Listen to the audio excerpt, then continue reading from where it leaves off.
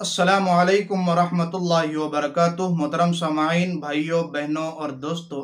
उम्मीद है आप हज़रत खैर आफ़ियत के साथ होंगे दुआ करता हूँ कि अल्लाह रब्ज़त आपको ऐसे ही हमेशा खुश रखे आबाद रखे और शाद रखे गुज्त कल की तरह आज भी किसी मोहतरमा का एक सवाल है वो सवाल करते हैं कि मुफ्ती साहब मेरे जो हस्बैंड हैं वो मुझसे खफा रहते हैं नाराज़ रहते हैं आप उसके मुतालिक कोई वजीफ़ा या अमल बतला दीजिए। देखिए मोहतरमा,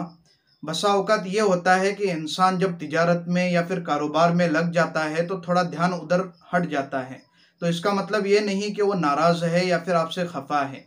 बसा अवकात ऐसा होता है, लेकिन अक्सर औरतें करती ये हैं कि मनफी सोच रखती हैं तो उनके साथ मनफी बर्ताव और मनफी नतीजा उनके सामने आता है। तो उसके लिए आपको सबसे पहले मुस्बत सोच रखनी चाहिए और इन उसके ज़रिए आपके सामने जो नतज आएँगे, वो मुस्बत आएँगे। अगर आप इसके मुतालिक वजीफ़ा चाहते हैं तो मौलाना अशरफ अली थानवी नवरकदहू का बतलाया हुआ एक अमल है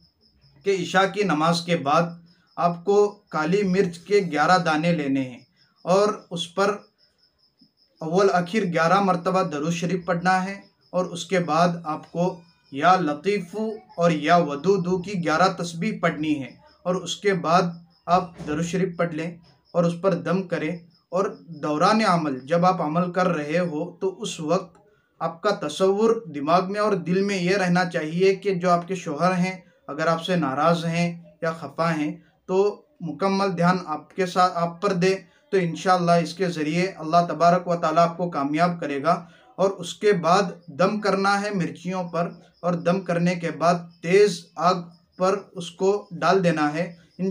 इसके ज़रिए आपके शोहर आपके साथ अच्छा सलूक और अच्छा बर्ताव करने लग जाएँगे और आपसे जो नाराज़ है वो नाराज़गी बहुत ही जल्द इन ख़त्म हो जाएगी। इसी तरह अगर आपका भी कोई मसला हो तो कमेंट बॉक्स में लिख दीजिए। इन बहुत जल्द उसके मुतालिक अमल बतलाया जाएगा। असलकम वरहमल वर्का